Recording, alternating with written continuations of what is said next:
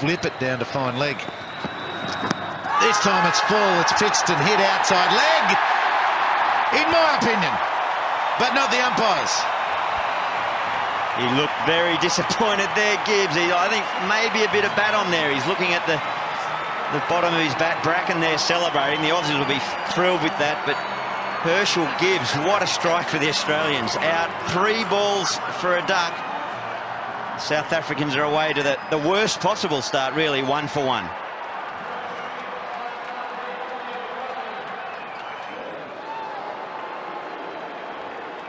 Hit him on the full, didn't it? Just watching the replay now. hit that.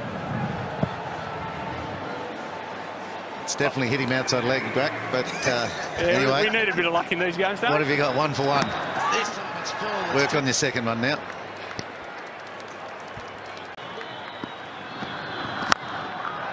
This is a good hit. He's got enough wood on it to go straight down the throat of Cameron White. This time, it doesn't get lost in the lights here at the MCG. A very important wicket for the Aussies.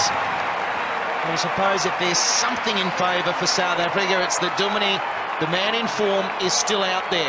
Morkel gone for 12 at 6 for 120. Warner out for 89, but Duminy has not been contained at all. Warner Morkel just rolling on that slow ball from Nathan Bracken, who's completed his third over brilliantly. Two for 18.